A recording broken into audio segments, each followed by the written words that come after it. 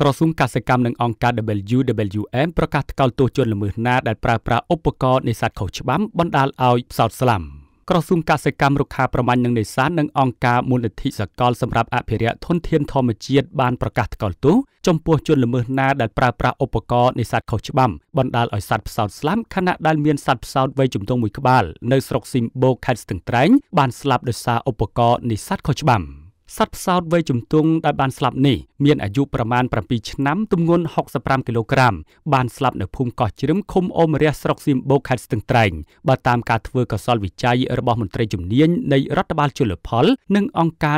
WWF បានសន្និដ្ឋានថាសត្វផ្សោតនេះបានស្លាប់ដោយសារឧបករណ៍ឆក់ព្រោះមានស្នាមជាំដុំដុំនៅផ្នែកក្បាលនិងដងខ្លួននេះបើយោងតាមសេចក្តីប្រកាសព័ត៌មានរបស់រដ្ឋបាលជលផលនៃក្រសួងកសិកម្មរុក្ខាប្រមាញ់និងនេសាទចុះថ្ងៃទី15ខែវិច្ឆិកាឆ្នាំ2023អ្នកនាំពាក្យក្រសួងកសិកម្មលោកជំទាវអឹមរចនាបានប្រាប់ឲ្យដឹងនៅថ្ងៃទី16ខែវិច្ឆិកាថាក្រោយពីបានទទួលដំណឹងនេះក្រសួងពិតជាមានការសោកស្ដាយដែលសត្វផ្សោតវ័យជំទង់នេះត្រូវបានស្លាប់ដោយសារឧបករណ៍ឆក់បើទោះបីជាបច្ចុប្បន្ននេះស្ថាប័នរដ្ឋនិងអង្គការដៃគូទាំងអស់ខិតខំប្រឹងប្រែងក្នុងគោលដៅការពារនិងអភិរក្សសត្វផ្សោតដែលជាមរតកសម្បត្តិរបស់ជាតិក៏ដោយ។ លោកជំទាវបន្តថាក្រសួងកសិកម្មថ្កោលទោសចំពោះជនល្មើសទាំងឡាយណាដែលកំពុងប្រើប្រាស់ឧបករណ៍នេសាទខុសច្បាប់ហើយមន្ត្រីជំនាញនៃរដ្ឋបាលជលផល និងអាជ្ញាធរមានសមត្ថកិច្ចពាក់ព័ន្ធទាំងអស់និងប្រើប្រាស់គ្រប់មធ្យោបាយទាំងអស់ដើម្បីកំណត់មុខសញ្ញាជនល្មើសនិងឈានទៅដល់ការបង្ក្រាបនិងដាក់ទោសទណ្ឌដល់ជនល្មើស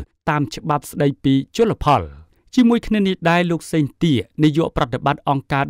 WWF ក៏បានថ្លែងដែរថាក្នុងនាមជាអ្នកអភិរក្សលោកពិតជាមានអារម្មណ៍សោកស្ដាយខ្លាំងមែនទែនចំពោះការបាត់បង់សត្វផ្សោតវ័យជំទង់មួយក្បាលដោយសារការប្រើប្រាស់ឧបករណ៍ឆក់របស់ក្រុមជនល្មើសជាពិសេសនៅក្នុងកំឡុងខែវិច្ឆិកានិងខែធ្នូខាងមុខនេះជាខែដែលត្រីឡើងពីទន្លេសាបទៅទន្លេមេគង្គនេះគឺជាការបារម្ភរបស់យើងទៅលើការប្រើប្រាស់ឧបករណ៍ខុសច្បាប់នៅក្នុងតំបន់ផ្សោតរស់នៅហើយខ្ញុំជឿជាក់ថាអាជ្ញាធរមានសមត្ថកិច្ចនឹងនៅតែបន្តការងារល្បាតជាប្រចាំទោះបីជាគាត់បានធ្វើច្រើនក៏ពិតមែនប៉ុន្តែឧបករណ៍នេសាទប្រើប្រាស់ខុសច្បាប់នៅតែមានជនល្មើសប្រើដើម្បីលួចចូលតំបន់ដែលផ្សោតរស់នៅ។ នាយកប្រតិបត្តិអង្គការមូលនិធិសកលសម្រាប់អភិរក្សធម្មជាតិក៏បានធ្វើការអំពាវនាវដល់ប្រជាពលរដ្ឋជាពិសេសក្រុមអ្នកនេសាទដែលប្រើប្រាស់ឧបករណ៍នេសាទដែលច្បាប់ហាមឃាត់គឺចាំបាច់គួរតែបោះបង់ឧបករណ៍នេសាទទាំងនោះចោលដើម្បីកុំឲ្យប៉ះពាល់ដល់សត្វដែលជាសម្បត្តិបេតិកភណ្ឌមានជីវិតរបស់កម្ពុជាការចូលរួមថែរក្សាសត្វផ្សោតនេះគឺដើម្បីធ្វើឲ្យអ្នកចំនួនក្រោយបានស្គាល់